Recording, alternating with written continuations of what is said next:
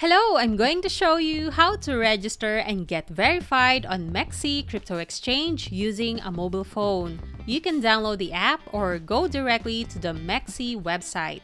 So check out the links in the description below. I'm using the MEXC app. Read the notice and it's up to you if you would disagree or agree.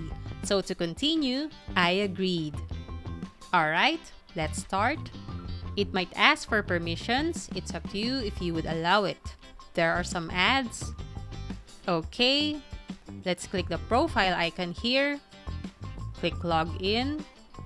Okay, you can sign up with your email or mobile phone. I signed up with my email. Click next.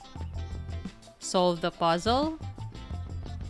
Then set a strong password. You can use this referral code. Next. If you sign up with your email, check it for the verification code. If you sign up with your number, the code will be texted to you. Enter the code here, then confirm. Alright, now I'm registered to MEXC. For the KYC, click the profile icon again.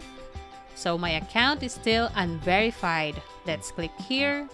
Okay, personal verification. You can choose if you want to do primary or advanced KYC.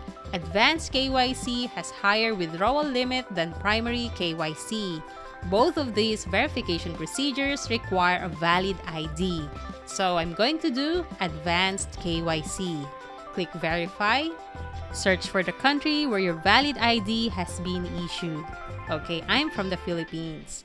Then select the ID you will submit I will submit one of my ID cards. Continue. Authorized MEXC to use your camera because you have to take photos of your ID and also for your selfie. Okay, just allow it. So, do you live in the US? As for me, I'm a non US resident. Continue. Get ready to take photos. Continue. Then take a photo of the front of your ID. Click this. Make sure it's readable. If not, you can retake the photo.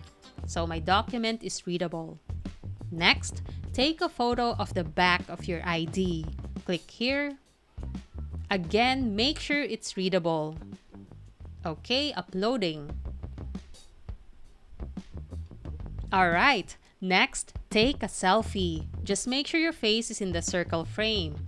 Follow the instructions here as MEXC scans your face. Done!